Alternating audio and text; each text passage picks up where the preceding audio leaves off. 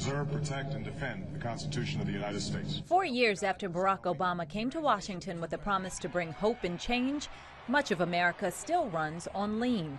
Here's how some describe their personal state of economic affairs over the past half decade. Roller coaster. Bills, doctor bills. What's changed in four years?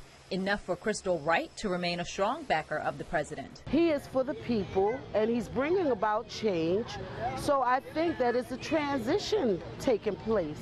FactCheck.org found that federal spending has increased by 11.2 percent and some of that spending can be pinned to the duplication of federal programs. According to the Government Accountability Office, the Obama administration and Congress have pulled the plug on just 12% of the 300 recommendations made by the GAO to eliminate unnecessary programs. With continued NSA surveillance, lack of transparency, uh, veiled budget threats and veto threats, nothing has changed. One area that can't be measured by numbers is the political climate in Washington.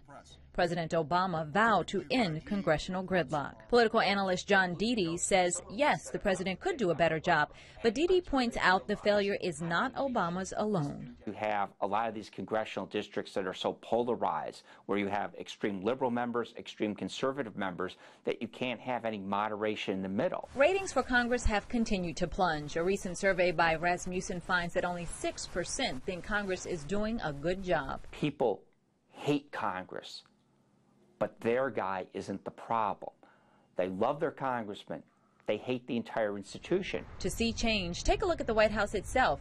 Its value has increased by about 7% to almost $300 million. Patrice Sanders, Fox 45, News at 10.